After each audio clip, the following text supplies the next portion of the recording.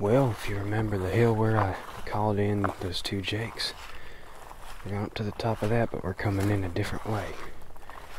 Should be a shorter walk, but it's kind of unknown here, so hopefully it's not too terribly thick.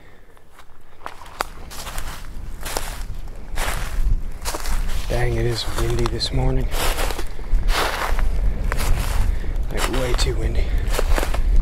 Well, we got rain coming in, but I was hoping to be a little more calm.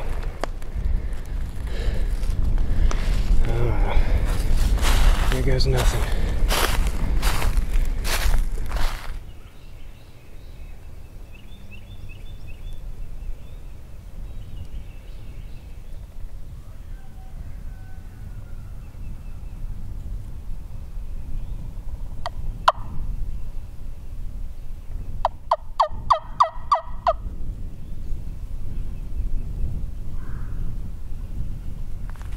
all these hills, and the only thing I can hear is wind in my ears. They do not seem to be gobbling. I can hear, I've heard a couple of chickens and a dog and a goose. A farm goose, not even a real goose. Well, we walked all the way up here to hear nothing, but sunrise was nice. We got rain coming in a few hours. I think it's going to be one of those ride around and check fields kind of days.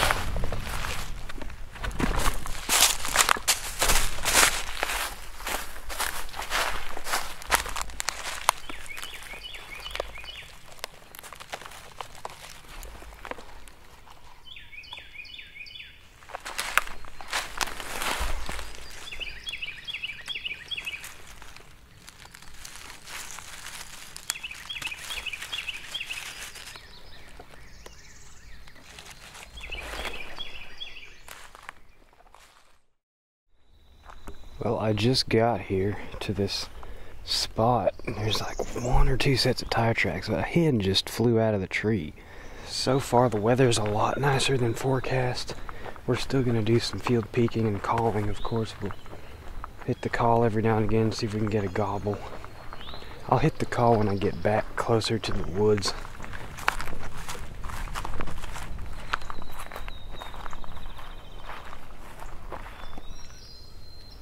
There's a little bit of scratch here. I'm gonna sit down on this tree and call them and listen for a few. There's a field out there, there's fields out that way. We're in this little patch of woods here. See if anything responds.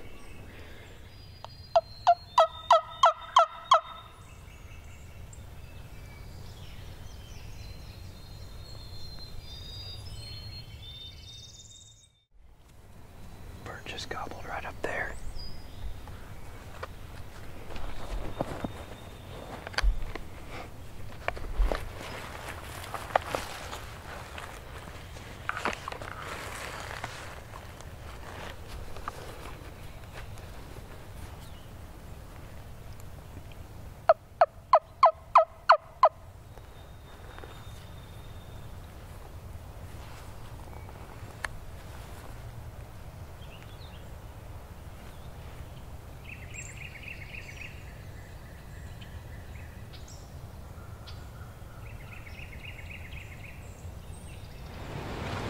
They've been quiet for like 25 minutes. I was about to say I'm gonna get up and peek the field, but he just gobbled. I believe he is in the next field. He's probably got hens. You can hear that weather starting to blow in. Let's pick up and move, see if we can get eyes on him. We got some thick cover in these woods. We're gonna need it. He's up there somewhere. He's in that field for sure. In fact, he ignored me. I think he's got hens.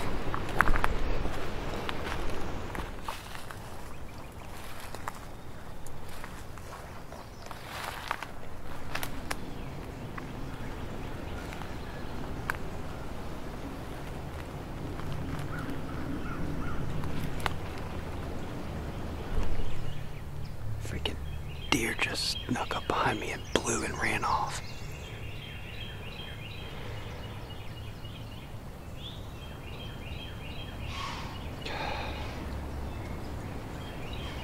I about had it with deer this year.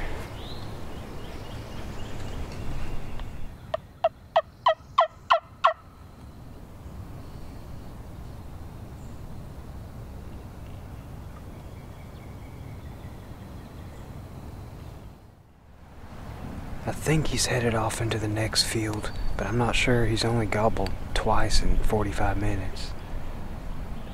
Second time he gobbled was more that way, and that's more towards the next field. So uh, if I can make sure he's not in this field, I can drop back into the holler and get around into the next field, creep up in there, and see if I can do something with him there.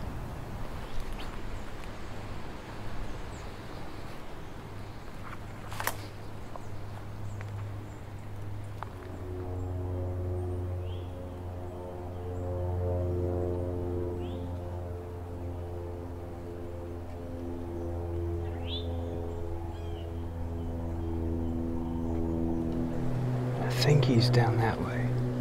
The hen is this way. I can't see her right now. She's down there in that bottom. I have not seen him. He could be in the woods too, but I don't know where he is. I wish he would gobble a little more.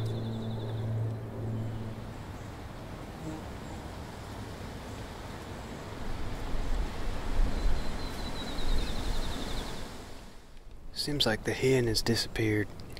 Uh, she might be working on a nest, but I did not see anything with her. Probably is working on a nest. We're gonna creep down the edge through the woods. See if we can get eyes on something, or maybe hopefully he'll gobble again. I just flushed a turkey right here. I couldn't tell if it was a gobbler or not.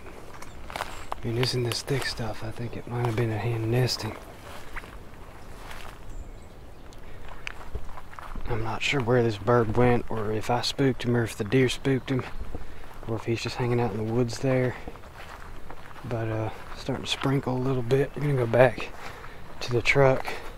It's supposed to rain some and then let up this afternoon. Be good to walk these fields, hit a call after the rain lets up.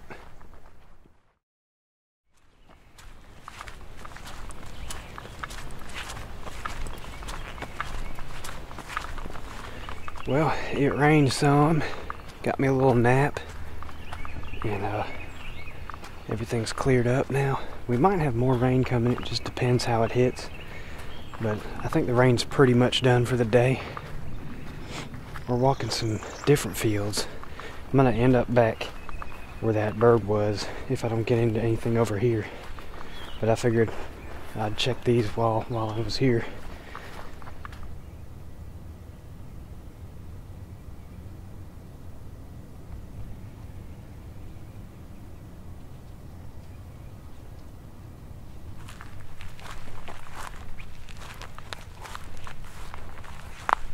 Crow just started calling. Bird gobbled down there. I was literally just about to pick a spot to set up in between these two fields. Let's go try these cedar trees. Kind of sounded jakey. I'm not going to get too excited, but something gobbled down there.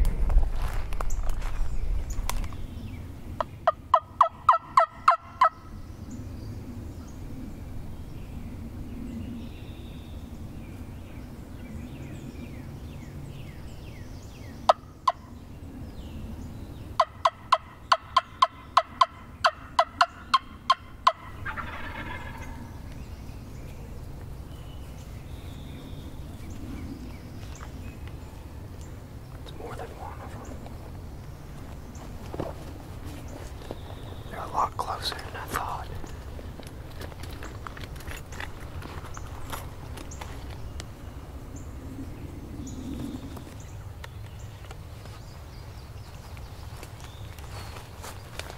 I don't know if these birds are gonna commit. They're, they're right around the corner. There's two of them.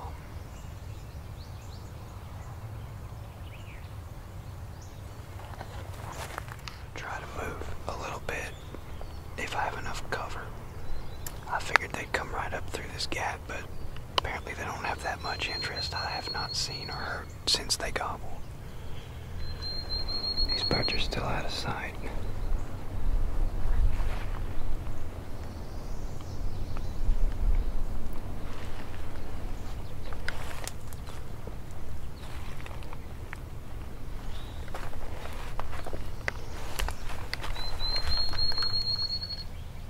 Not a big fan of I'm sitting, we may need to get up right behind this pile of brush. So far, they're still around the corner out of sight. There's a hen yelp, so that explains why the gobblers didn't come running in.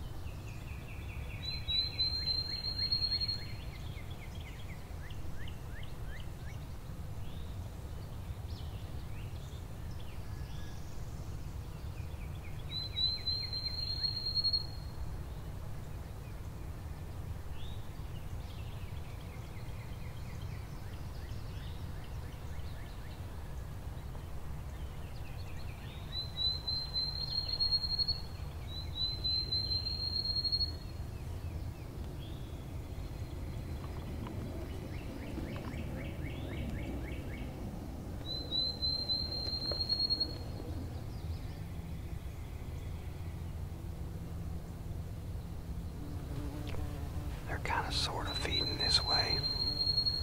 He's about 60, 70 yards out. We'll let him close in to 30. Hopefully, hopefully they work this way. I know they heard me, and apparently their hen left them, or they left their hen. I don't know. I never saw her. But uh, I lost the skinny beer bird. The big beer bird is still within sight. I'm looking at him right now through the brush.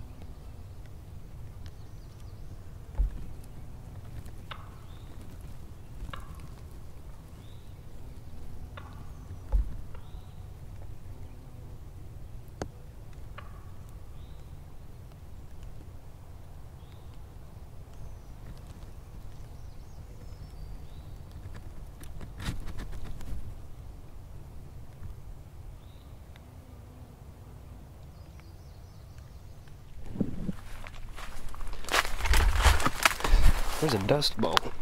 I didn't want to spook off those other birds because I want to come back tomorrow. See if I can get a buddy out here and we can try to double. If not, I'll come out here myself and try to tag out. But with all those other longbeards, I didn't want them to go flying all over the place. Pr private property's over that way. We got the wad.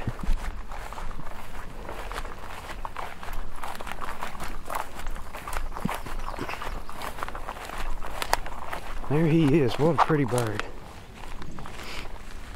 That's a big one too. At them hooks. Good bird. Luckily for that, thankfully for that crow, luckily for me, he gobbled, or they gobbled. And the other two went off that way and they're not too spooked. They're gonna hang around. We'll probably try to get back on them tomorrow. But for now, let's get him checked in.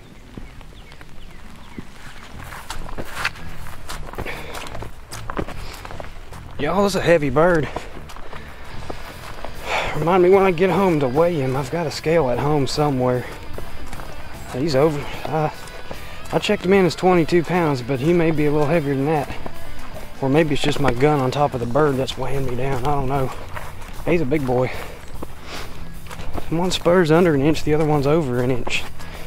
Um, I just figured he's a two-year-old. I saw the short spur. I don't really know or care if he's a two-year-old. He's a dead-year-old. I shot half of his beard off too. Like, yeah, a good chunk of his beard is gone. He took a pellet. It's all right. Thanks y'all for watching. I will catch you again soon.